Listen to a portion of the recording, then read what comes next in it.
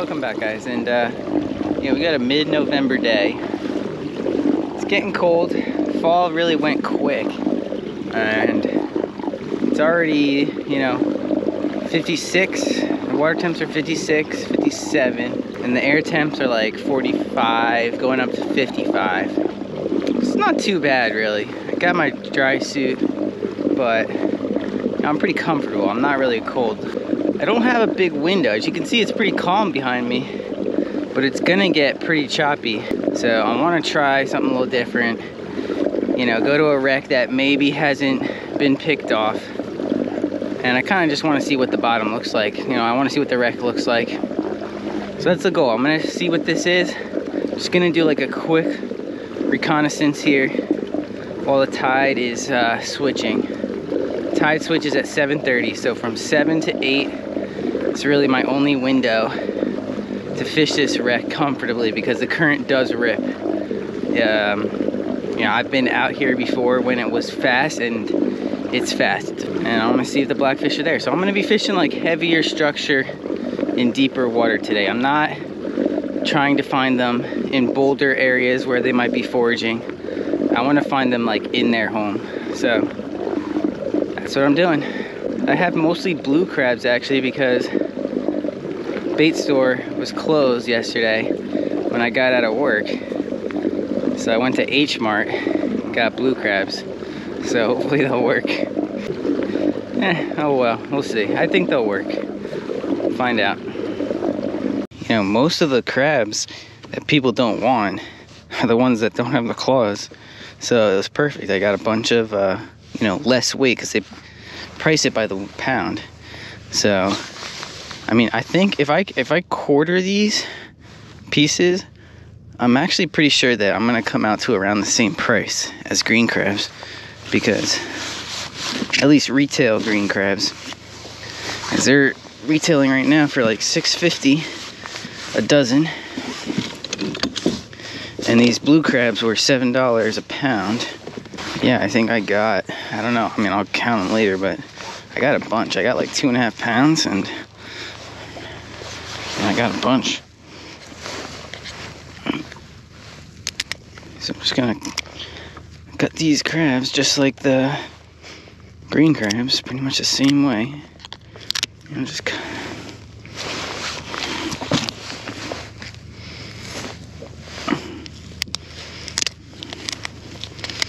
They're a bigger crab, obviously. I got got a lot of juice, a lot of goods.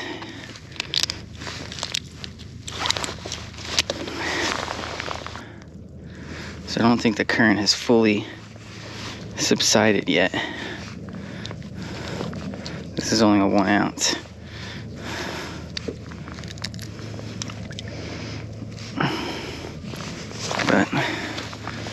I think probably the most difficult part about fishing in colder weather, especially black fishing, is the uh, it's just your hands get cold because you're you know you gotta wet, wash your hands constantly. So that's I think that's the big thing. Alright, I kind of like now. Got a view of the city in the distance. It's pretty nice. Sun's coming up. Let's see if we can get one.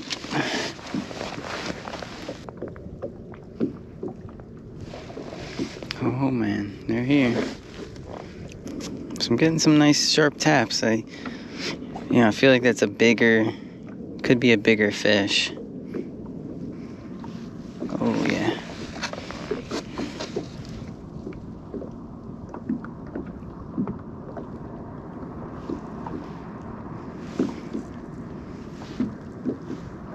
Some good taps. Oh, might have to go soon on this one.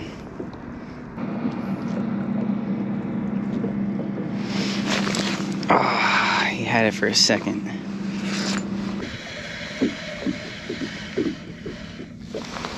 Yep.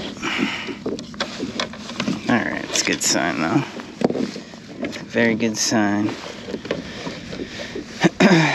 they are taking the blue crab.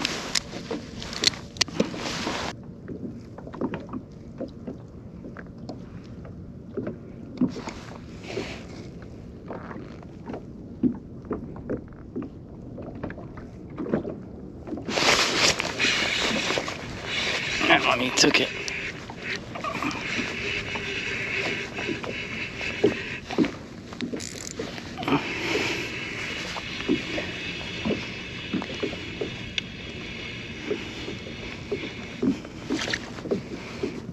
That's decent.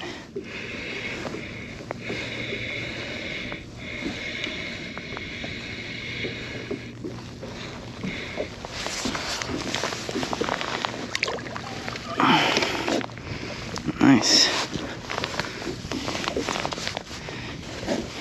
He's probably a little short. Yeah. About 15 and a half. Almost 16.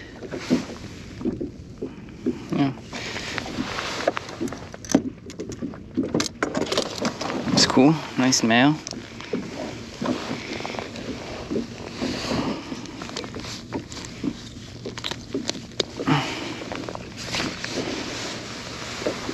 His eyes are popping out a little bit.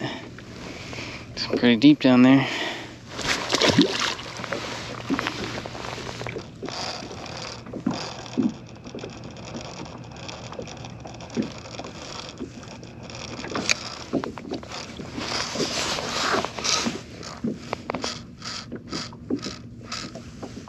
Oh, yeah, they're on feeding mode now.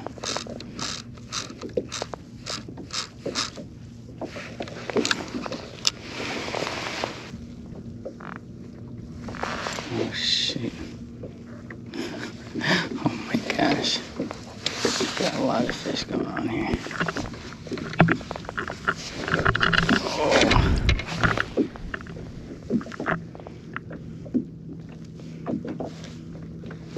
They are here. They are ready to go. They are like fired up though. I gotta take advantage of it before they move on before the current gets too strong or the wind even you've got so many factors at play right now like as soon as i dropped i tried to drop both the underwater and my jig and they both just got destroyed and i couldn't really pay attention to both of them at the same time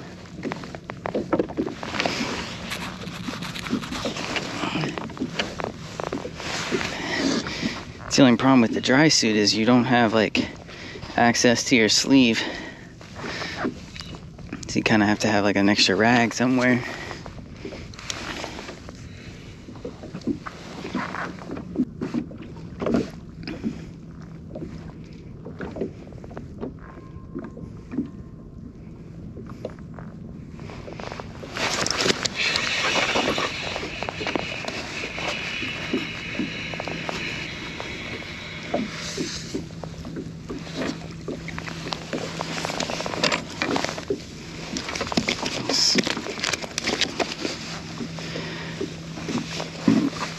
Beautiful female.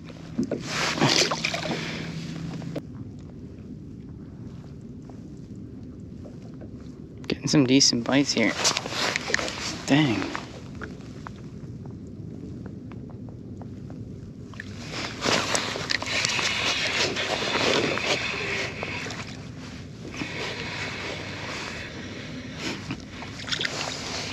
Ooh.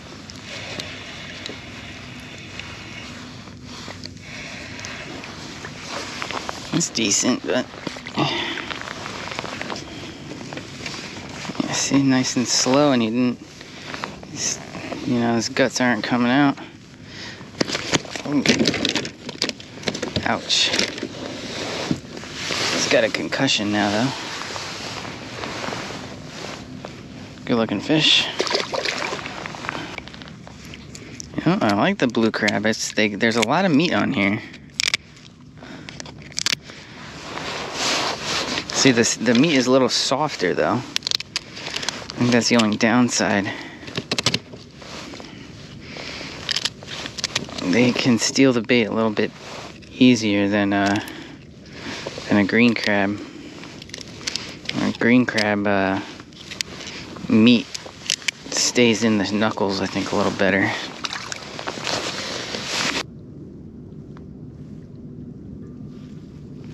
There we go.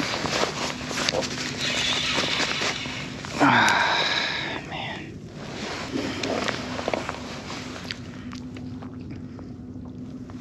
There's a tap. Oh.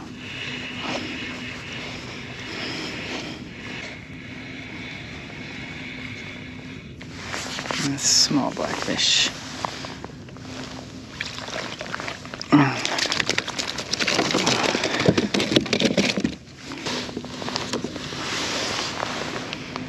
Mm. Nice looking female. Somebody's munching on it.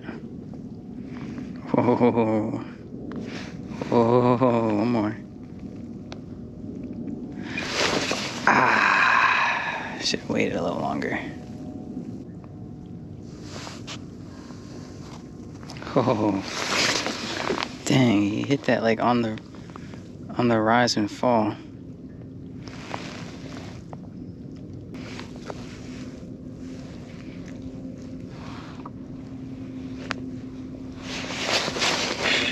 Ah, dang. Some good bites right now. Come on.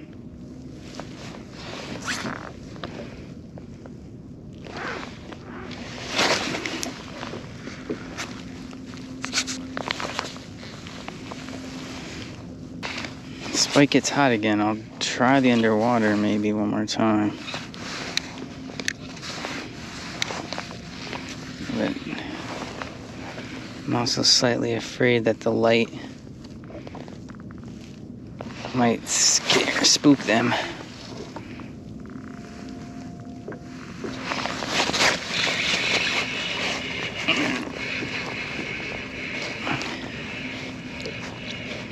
This one's small.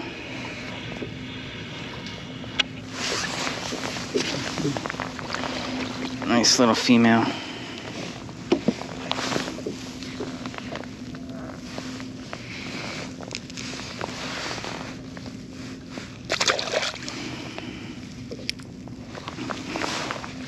Still got the bait. Uh oh. Am I swinging? I'm starting to swing. Here we go.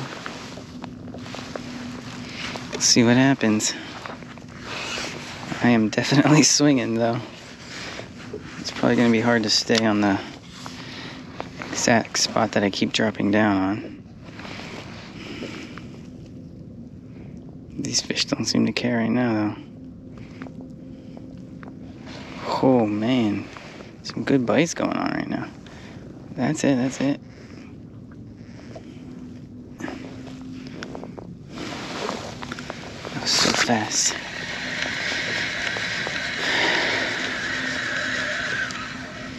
They're really liking this uh, blue claw crab right now, though. no no issues with it.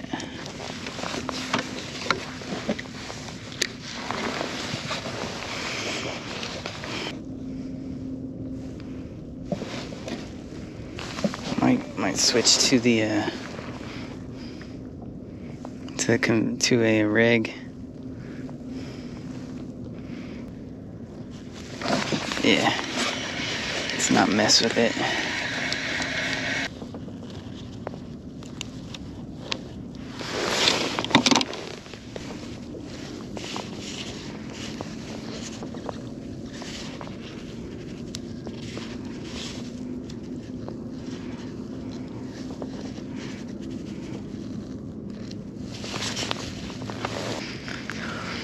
Two ounce. I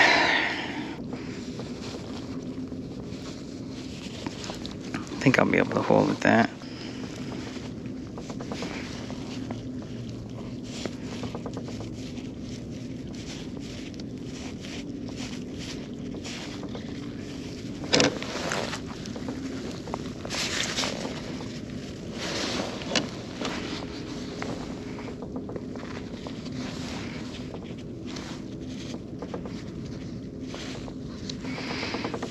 want a little bit of, eh, it's roughly okay. Maybe I wanted a little shorter, but that's alright. Alright. See if we can get one with the rig.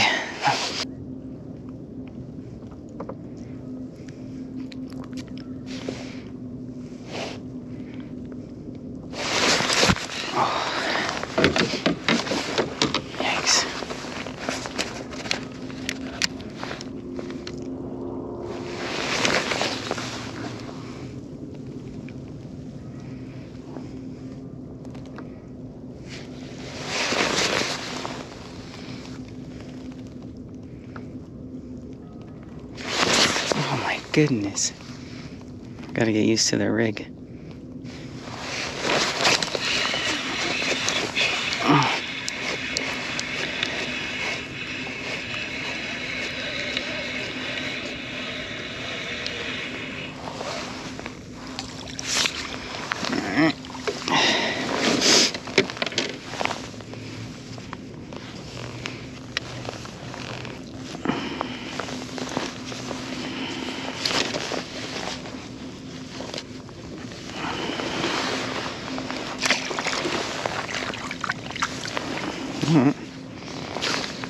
Biting the rig pretty, pretty significantly.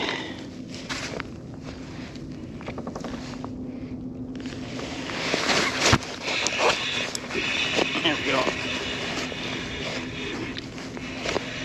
It's a better one.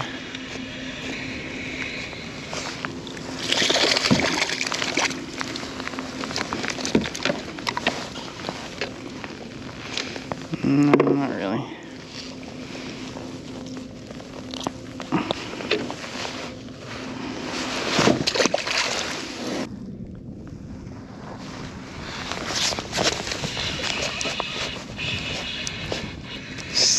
tiny fish.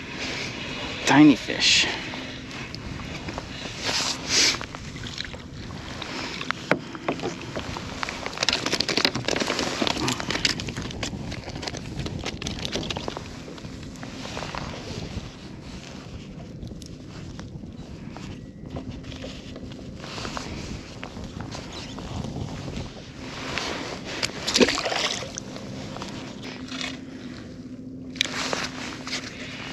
Oh my goodness.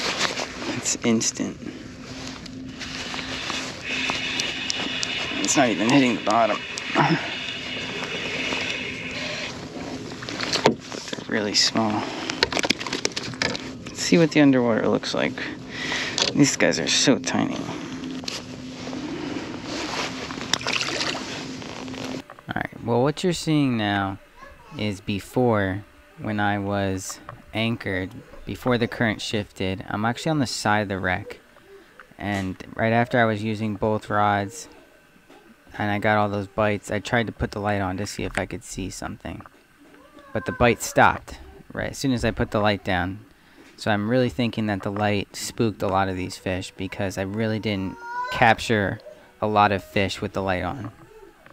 So another interesting thing is I'm not adjusting the sound at all. This sound is actually at full volume. I usually have to lower the sound, but when I guess it's so deep like this and there aren't a lot of boats going on, uh, the ambient sound is very minimal, very minimal. And that could actually have something to do with why these fish spook easily. You know, they're just not used to a lot of noises and lights and stuff like that. In this clip, as the camera was going down, you're going to see some fish right there in the background. Not really sure what they are, but maybe bluefish. I'm not really not sure. And here you're gonna see the side of the wreck. There's some coral there and some uh, rust-colored sponges, I think.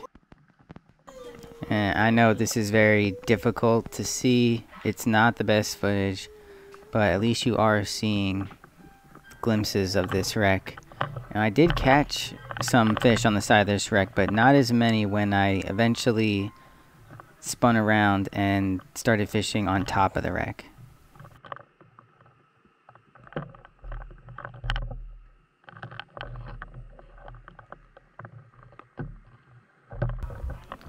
So now you're seeing the top of the wreck. Now I've, I've already started to spin around, so There's a blackfish there to the right.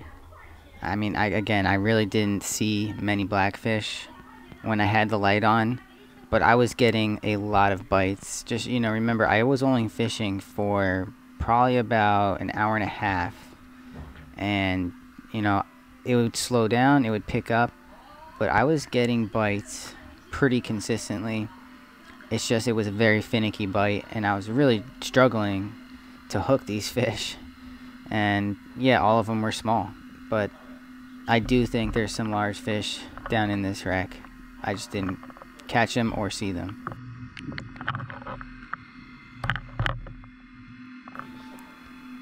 So if you look closely, you can kind of tell how the current is moving a little bit faster now. And keep in mind, this is only 45 minutes maybe past dead slack tide. And it's already picked up quite a bit.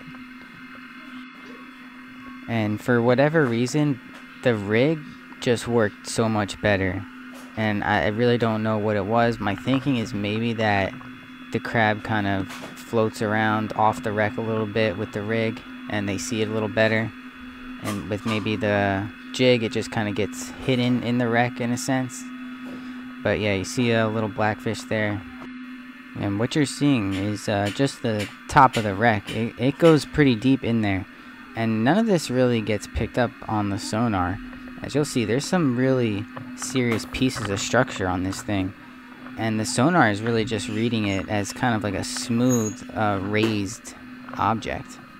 Uh, here's another uh, female blackfish coming in on the right into the frame.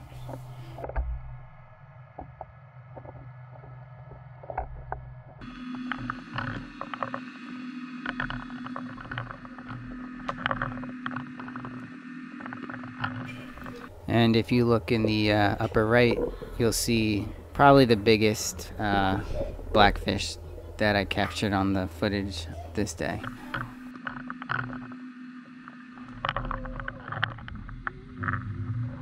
Here's just a freeze frame of that fish again that I don't know what it is. Now you're going to start seeing some more of the stickier pieces of this wreck. You know, I'm not really sure if this is steel or wood. If any of you do know, uh, please let me know. I'm very curious. It's pretty cool. It, there's a lot of these looking, you know, arm-looking pieces. And there's a decent view. I, got, I almost got stuck many times doing this. But, you know, as I'm feeling the bottom and feeling these surfaces with the weight, I've tried to make sure that I don't go beyond that top. So, you know, as if I feel the, the surface of the top of the wreck, then I stay there and I don't try to move it.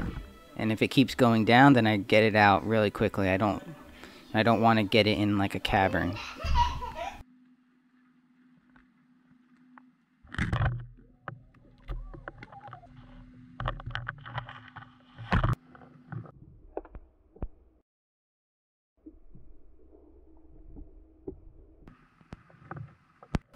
Here you'll see what I'm talking about. I got too deep on the side and you see how much wreck I'm coming up off of and then there I got snagged on I think like a rope or something but thankfully it broke free. See this color sponge that's on this uh, piece of wreck? I think this is why the uh, the blackfish sometimes have that golden hue to them. I think it's really related more to the to the camouflage of some of these corals and sponges that grow on the wrecks. Here's a freeze frame of, I think, a blackfish. Here's just another passing by of a pretty interesting opening in the wreck. It really is just so much to this wreck. I, I only fish a very small area, and I think it's probably over a hundred feet of area. So definitely want to uh, come back and try this again. I really wasn't very successful in catching a keeper blackfish on this session, but I did learn a lot. And, you know, that's a lot of what it's about experimenting and seeing what works, and then applying those things you learn for the next trip. So, that'll about do it. Thanks for watching, and I'll see you on the next one.